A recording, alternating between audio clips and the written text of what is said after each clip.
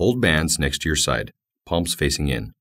Brace your core as you lower, keeping your knee behind your toe. Once your front thigh is parallel to the floor, pause and return to the starting position.